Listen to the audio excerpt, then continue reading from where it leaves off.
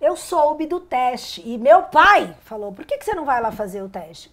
Eu, tipo, não Aquele tava... MTV pega, pega pra criar, Eu, né? foi eu não lembro o 93, nome, mas 93. era uma seletiva. Sim. Foi em 93. Foi A em data 93. Foi, foi o curso que eu, o curso, o concurso que eu fiz. Foi. Exato, É. e eu trabalhava na Tantan, isso eu lembro também, já era loja de roupa, enfim.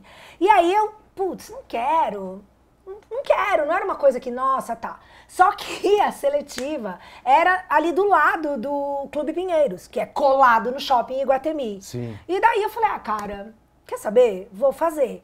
Aí eu peguei a fila, fiquei na fila uma cota. Meu, demorou, demorou, demorou. Ah, foda-se, vou embora. Tiraram uma foto em algum momento, essa foto saiu num jornal. Sério? E eu estou na foto na fila pro teste da MTV que eu nunca fiz. E eu, e- sério. E agora eu só quero saber se Sabe ela quem- achou esse jornal. Porque não é Sabe possível quem deve ter que feito quem deve ter feito essa reportagem? O Zeca Camargo, porque o Zeca Camargo teve aqui, nessa época ele trabalhava na Folha e ele mandava as pessoas, os jornalistas da Folha fazer essa cobertura aí Muito do MTV possível, Pega pra Criar. Muito possível, porque como alguém pode saber? Eu não sei se eu ainda. Foram tantas mudanças, mudanças de casa mesmo na Uhum. vida, mala, some e tal.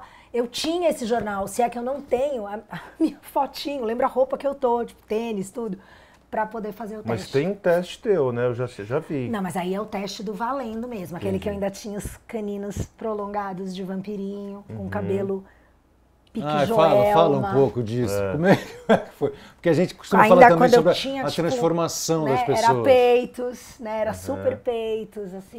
Peitos era o apelido seu, né? Sim. Foi a Cassélia que deu? Sim, e aí Conta a essa Ana. história, como é Ah, mas é que aí já veio via Ana Butler também, Ah. que daí virou Cássia com Ana, porque tinha dedos, dedos, dedo é 10. E aí um dia virou peitos, peitos, e aí peitos pegou, e tipo, fralda também começou a me chamar, me chamar de peitos, começou a me chamar de peitos, e aí o, de- o tiara inteiro Fralda me chamava de peitos, e aí me chamava de peitos na frente de qualquer outra pessoa da MTV. E daí peitos, peitos, aí eu mega peituda, sempre de decote. E aí ficou peitos mesmo. Então chama peitos. Era peitos, né? Meu apelido Seu- na MTV era peitos, P de peitos. Mas foi a Cássia que teve essa percepção. Foi num sua. verão e É. daí isso veio. Se foi Uhum. a Cássia que falou pra Ana e a Ana mandou, mas, mas teve. Porque a Cássia também me chamou de peitos. Então teve esse momento criativo aí, peitos, peitos. Você também foi chamado de peitos, não? Não, de, Não. de pintos também não. É, é, não.